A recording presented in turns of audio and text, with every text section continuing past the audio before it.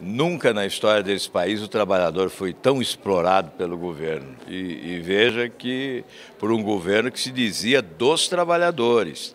Todos ganham com os recursos do FGTS, menos o trabalhador. A Caixa Econômica ganha horrores, o governo muito mais.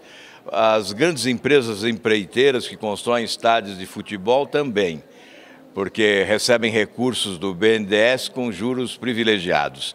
E esses recursos têm origem no FAT e no FGTS, dinheiro do trabalhador.